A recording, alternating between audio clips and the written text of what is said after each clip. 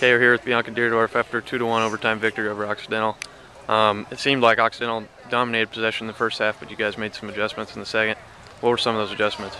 I mean, our halftime talk um, was pretty much Frank just telling us to get our act together and we needed to work harder as a team and uh, connect the ball better and just start attacking because they were definitely beating us to the ball in the first half.